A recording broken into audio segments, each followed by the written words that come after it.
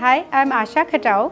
Today I'm going to show you a very nice and tasty snack come breakfast item called dark millet pancake. Dark millet is very popularly known all over India as bajri. So we are going to do here bajri ka chila which is been actually mix and match of a few ingredient and made really tasty. I'm sure you'll enjoy this recipe. You want to know how to make it? Keep watching.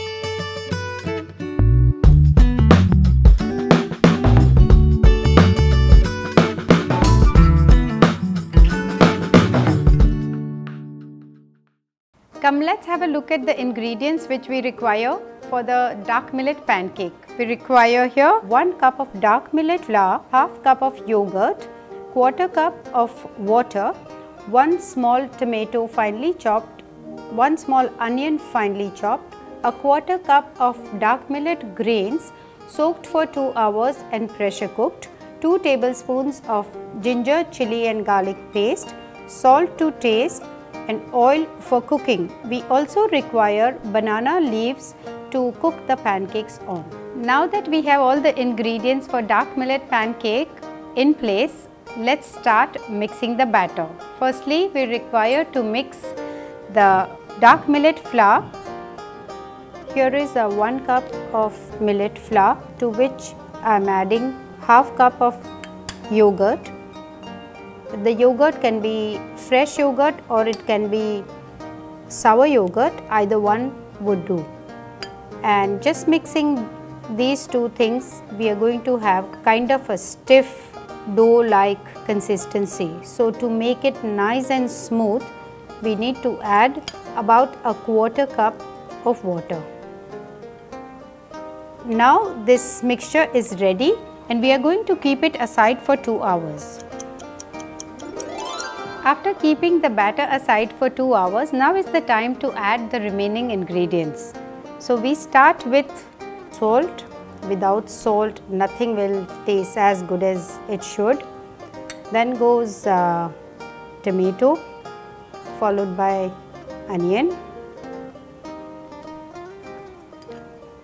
And we mix it lightly. Now you can see that the batter after keeping it aside for 2 hours it's loosened up slightly so it's going to be nice spreading consistency for us to make the pancakes. And here is the zing added to our pancake which is the green chili, ginger and garlic. This uh, batter nice and soft it's ready for us to make the pancake. Now we are going to start uh, making the pancake.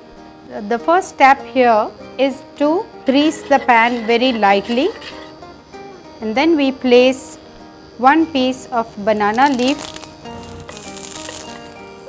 and I have this round ring which I am going to place on top and inside there I am going to spread the little bit of the batter approximately 2 tablespoons of batter goes at a time. This by putting this ring I get pancake a nice round shape. Allow this to settle for few seconds then we lift up the ring and I am going to sprinkle some soaked dark millet seeds on top which tastes really good and it's very nutritious.